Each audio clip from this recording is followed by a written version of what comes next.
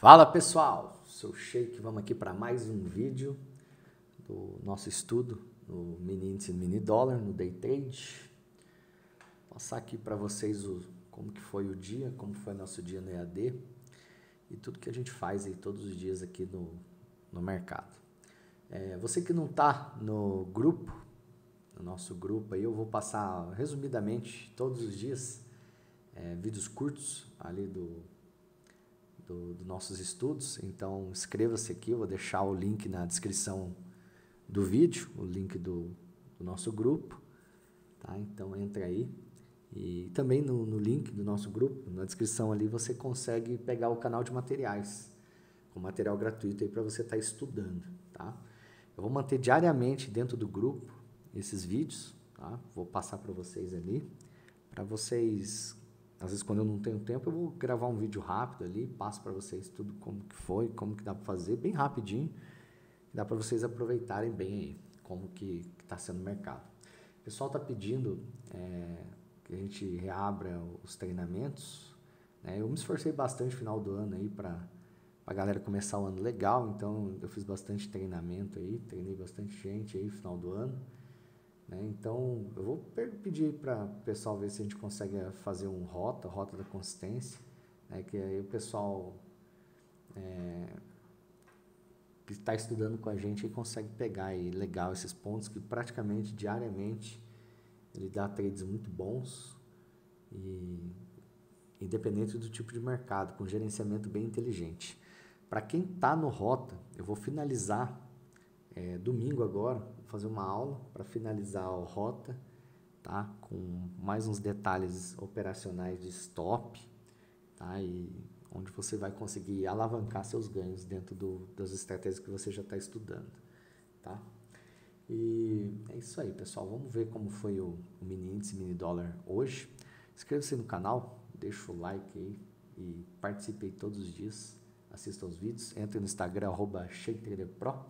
E muita gente está pedindo, muita gente nova chegando no EAD, chegando aí no canal.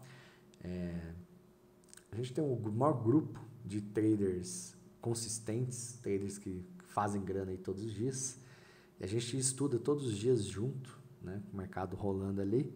No EAD, o EAD é só entrar no site www.shaketraderpro.com.br, onde você estuda ali com a gente nossas estratégias e tudo mais. Tem vídeos gravados para auxiliar o EAD e você vai aprender bastante com isso. É uma forma de economizar o tempo de vocês. Né? Muita gente perde 3, 4, 5 anos. E aí, se você começa a ver o mercado de uma forma mais inteligente, mais profissional, você começa a fazer dinheiro desde, desde já, desde o início, aos poucos, gradativamente. Não joga dinheiro fora, que é o mais importante até você chegar no nível que você espera e que eu mais espero de vocês. Vocês às vezes não imaginam o nível que vocês podem chegar. E é, hoje a gente vê bastante gente chegando em níveis assim muito altos e bem rápido, né?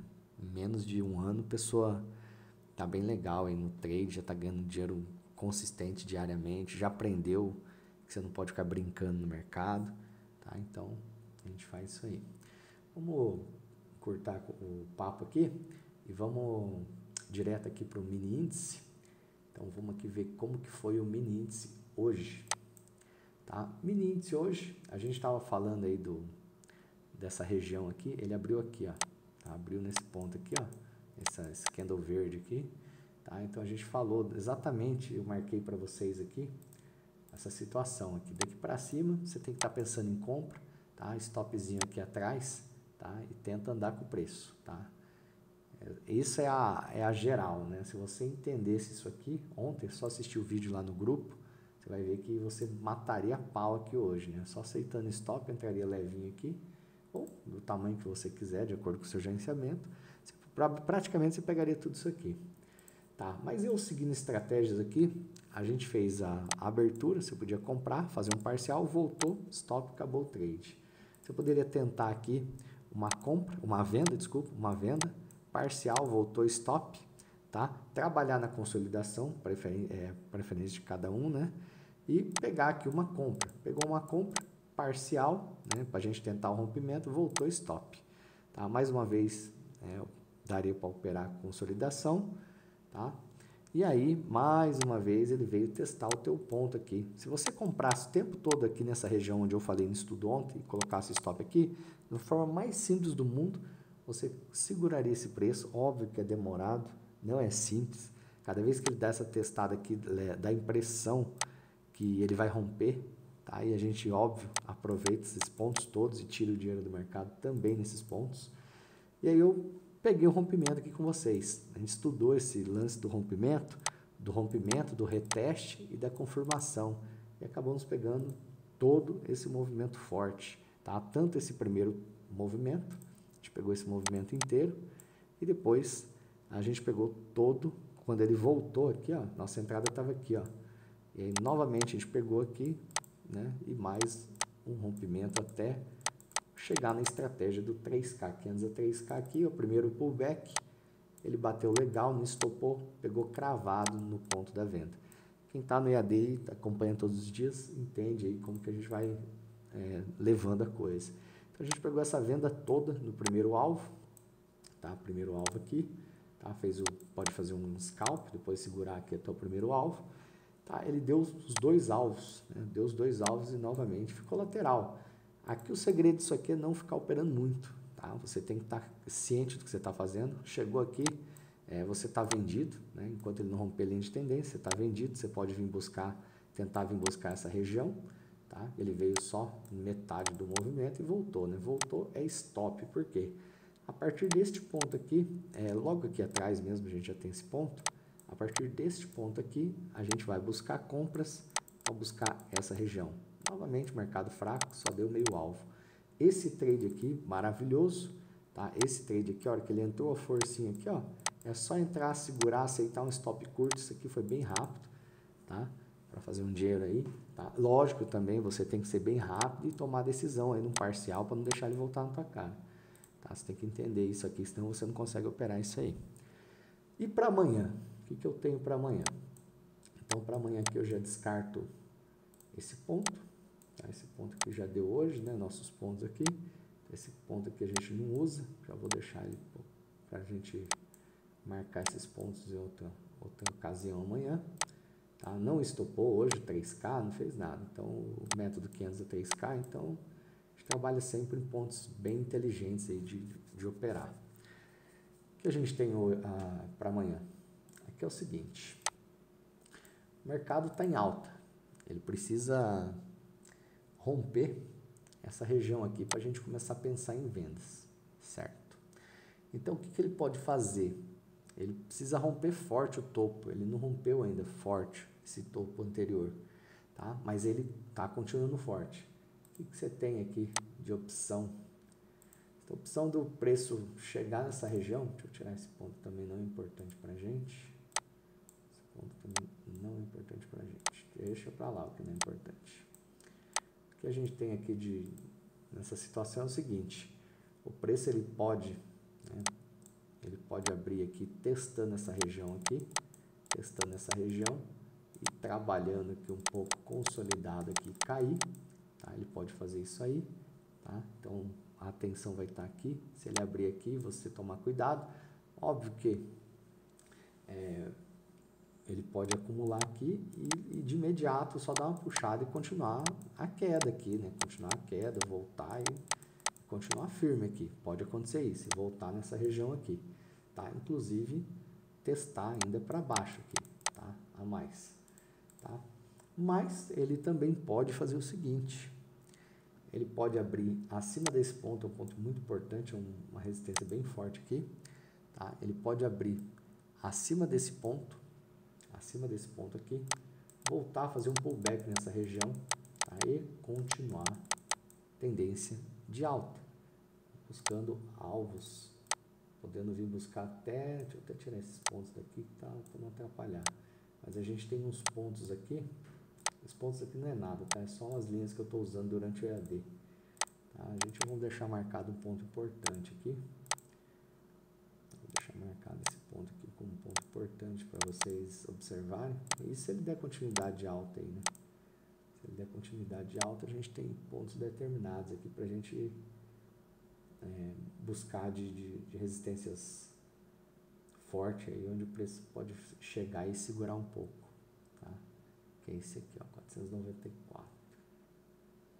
Bem aqui. Bem nessa região aqui. Pronto, vou deixar aqui marcado esse ponto, tá? Que se ele der continuidade, a gente vai tentando dar sequência de alta e buscando essa, essa região, tá? Então é isso aí, pessoal. É, atenção aqui só para a abertura, né? Abrir, ele vir testar. Enquanto ele se manter acima desse ponto aqui, a gente está pensando em compra, né? Está pensando em compra. Óbvio que ele pode dar uma testada aqui, voltar a cair, e você vai ter que vender aqui, trabalhar nessa região, no pullback aqui, abaixo, tá? Então a gente vai estar consciente disso. E se ele abrir abaixo desse ponto, ele pode testar aqui e tomar cuidado nessa, nesse pullback para ele continuar abaixo também. Ele faz essa, testa para um lado, vem para o outro que você é, tem que tomar cuidado com isso. Óbvio que ele pode continuar alta, né? E a gente tem que estar atento a isso aí, tá bom? E no dólar, esse ponto aqui também tem interesse para a gente. Eu deixo tudo aqui, ó, porque depois eu vou colocando os pontos que é, praticamente os entradas, stops, tudo que a gente precisa durante o dia. Eu vou colocando no gráfico para a gente usar os nossos, os nossos pontos com inteligência. Vamos dar uma olhada no dólar. O dólar que é o seguinte. Também não foi, não foi difícil de pegar, mas não deu rompimento. Ele trabalhou consolidado. Então a gente pegou uma venda aqui, ó. Pegou uma venda aqui. É, fez um parcial. Fez um parcialzinho aqui, né? Fez um parcial, ele não, não foi buscar alvo, tá? Faltou um pouco aqui para ele vir buscar alvo, né? Aí depois ele voltou tudo, tá? trabalhou na consolidação é, dava para trabalhar dentro de consolidação, óbvio. Aqui ele pegou exatamente nesse ponto aqui. Eu tinha uma marcação do meu ponto de reversão do scalper, tá? Um ponto com stop bem curto, ele não estopou. Esse ponto que está aqui, ele estava aqui, ó. Eu peguei essa compra, inclusive mostrei pessoal inteirinha até aqui, ó. Tá? Até aqui parcial, tá? E ele poderia dar nosso alvo aqui. Para quem não pegou é, desde esse ponto a compra no EAD, a gente teve mais uma compra, além desse ponto, uma compra aqui, um parcial nessa região com alvos aqui, ó. Aí ele foi lá e cravou nosso alvo. Quem não pegou desde o começo podia pegar esse ponto que dava certo também. Aí depois eu deixei ele voltar aqui, pra gente, quem quisesse, óbvio, é, podia pegar a compra, aí ele deu essa compra, a mesma compra que deu aqui, ele deu cravado nesse ponto, tá? Conseguia pegar esse, esse ponto legal. Toda vez que você tentasse é, fazer uma venda que o estoque estava curto, Tá? Por quê? Porque a gente não poderia deixar ele voltar forte para consolidação e, e, e, testar aqui um pouco mais alto. Então a gente estoparia curto mesmo. Tá? E no final, aqui, ele deu esse, depois que ele saiu dessa acumulação aqui, tá? curta, ele deu esse trade novamente de venda parcial e aí sim cravou nosso alvo. Tá? E cravou nosso alvo aqui, demorado, né? mas foi lá e pagou. Tá? Para amanhã, o que, que eu tenho para amanhã aqui? Tem dias que o mercado está assim, tá? Tem dia que o mercado está meio travadão assim, é normal, a gente vai acostumando com tudo isso aí, tá? Com, com, conforme ele trabalha aí e, e vai todo dia tirando o nosso dinheiro aí da, da forma mais inteligente, tá?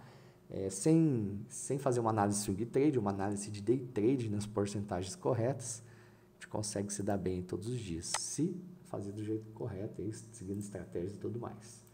Aqui que é o que tem para o dólar.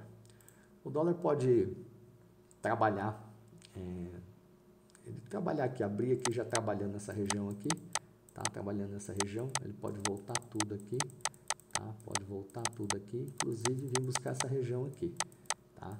E ficar nesses pontos aqui. Pode fazer isso aí, tá? Se ele perder essa região aqui, a gente não fala mais em, em compras, tá?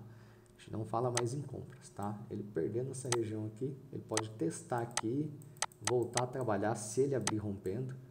Passou desse ponto aqui, lógico que ele pode vir testar mais uma vez. Passou aqui, confirmou, não falamos mais em compra, tá? Aí a gente vem buscar alvos aqui nessa região aqui abaixo, tá? Depois eu, durante o EAD a gente vai seguindo aqui para ver onde a gente vai buscar os alvos e tudo mais. Tá? Mas a gente tem mais alvos aqui embaixo se ele chegar a romper essa regiãozinha aqui. tá? Vamos ficar atento a isso aí, tá? Não fazer besteira, tá? Ele pode trabalhar aqui, voltar nesse meio, ficar consolidado e buscar a, a baixa aqui ou nesse ponto aqui a gente vem com ele, tá? Sempre trabalhando detalhe de tendência e tudo mais. E amanhã no EAD eu vou dar uma aula explicando esse lance de tendência, quando você usar isso aí e quando você usar consolidação. Vai separar bem legal para vocês aprenderem bem. Tá? A primeira aula já vai estar disponível para vocês lá, que eu dei para iniciantes, só que é um pouco mais avançado, mas ajuda vocês a darem entradas, entender a força do mercado e tudo mais. Tamo junto, pessoal. Abraço. Aproveite esses vídeos aí, estudem, treinem, tá? observe esses pontos que a gente fala e todos os dias é, vem para o mercado com a cabeça é, a melhorar a cada dia mais e fazer o seu. Faz o seu e vai embora desse mercado. Não fique teimando com o mercado, não tem trade toda hora. Tá? Existem os pontos legais para você estar tá operando. Não force o mercado que você vai só estar tá jogando dinheiro fora. O day trade é perigoso nesse quesito quando você não tem muito controle.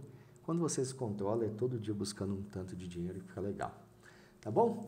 Tamo junto, pessoal. Aqui é no dólar. No dólar aqui, ó, essa operaçãozinha só hoje, tá? Só essa operação hoje aqui, ó, que eu fiz, tá? Eu fiz simplesmente essa compra aqui com cinco contratos, deu trade lá, acabou R$ 1.700. 1.750 reais, um trade só com cinco contratos. Vamos para cima, pessoal. Vamos para cima, cada dia mais se aperfeiçoando aí no mercado. Tamo junto.